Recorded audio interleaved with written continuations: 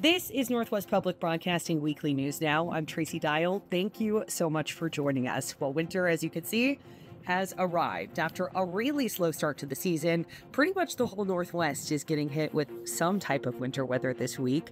From ice storms to snowstorms, it is expected to get a little bit worse before it gets better for a lot of us.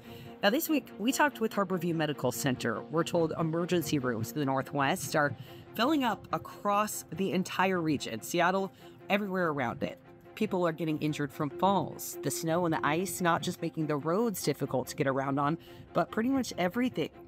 We talked to Elizabeth Phelan. She is the founding director of the Fall Prevention Clinic at Harborview. She says young people often hurt their wrists and their ankles when they slip on the ice. And older people, they're coming in with things like hip fractures, back injuries, and shoulder breaks. Now, she says the recovery will likely far outlast the winter weather. Those kind of injuries take about three months to heal. It takes about that long for a bone to fully heal. So people's lives are definitely altered, and it often requires them to have help when they were previously independent. So it is walk like a penguin season out there. Please stay safe. But it's not just bones that are breaking in this winter weather. We also talked to a general contractor in Richland Dan Vargo says the sound of the warm up that we're all waiting for, it is the terrible sound of breaking pipes. And the problem is that people might not know right now that their pipes are frozen. It's when they warm up that they can burst.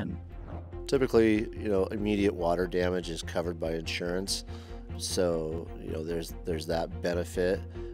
But, you know, depending on the extent of the damage, you know, you're, you're out of a space for a period of time. Stay with NWPB. Our radio hosts will keep you updated on weather updates all season long. Now to a health alert about a big algal bloom on the Snake River. That health alert has been lifted. After nearly three months, the Whitman County Health Department lifted the alert on a large span of the snake in eastern Washington. The algae, it looked like neon green scum and it smelled. The health department had to get two samples in a row from the river that were below toxicity levels. That first sample that met requirements was taken in late December. The second was taken this month. You can find more on our Instagram page and our Facebook page under NWPB, and you can find this weekly news now every week on YouTube.